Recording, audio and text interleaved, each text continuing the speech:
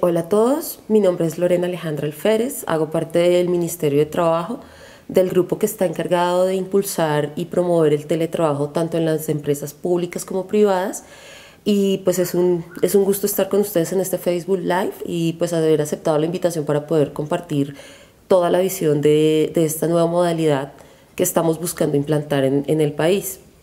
Eh, desde el año 2008, el Gobierno Nacional con la Ley 1221 buscó promover e implantar el teletrabajo en el país, dándole los aspectos normativos fundamentales para poderlo llevar a cabo en las empresas públicas y privadas, eh, teniendo en cuenta los criterios de voluntariedad, de reversibilidad y de igualdad de condiciones para los teletrabajadores. Em, dentro de esta ley se encuentran los aspectos de el tipo de contrato que deben manejarse, los tipos de resolución que deben ofrecerse para los trabajadores, ya sean de cualquier tipo de entidad y que deseen implantar el teletrabajo eh, como una modalidad para mejorar su calidad de vida y mejorar las, las opciones de las empresas, ya que el teletrabajo es una opción que va a permitir que las empresas mejoren su productividad, contribuyan al medio ambiente y pues que la calidad de vida de sus trabajadores y la productividad se aumente considerablemente.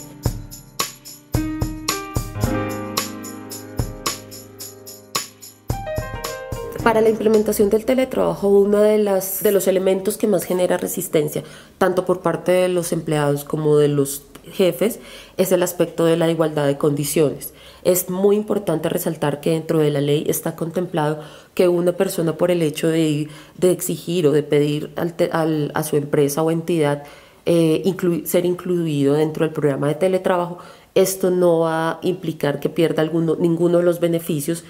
que tienen los demás compañeros que se quedan dentro de la empresa. Eh, el único aspecto que cambia en, las condiciones es el lugar donde va a desempeñar su trabajo, pero todas las demás condiciones deben de estar